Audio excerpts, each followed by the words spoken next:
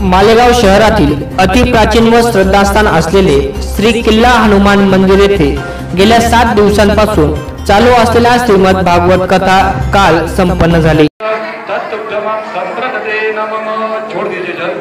दूसरा संकल्प ऐसा किया है आदे रहितानी दे सहितानी सं- आज एक तारखेला श्री शिखर कलश प्राण प्रतिष्ठा झाली. त्या निमित्ताने मंदिरात महाप्रसादाचे आयोजन करण्यात आले होते. या सर्व धार्मिक प्रसंगी मोठ्या संख्येने भाविक भक्त उपस्थित होते.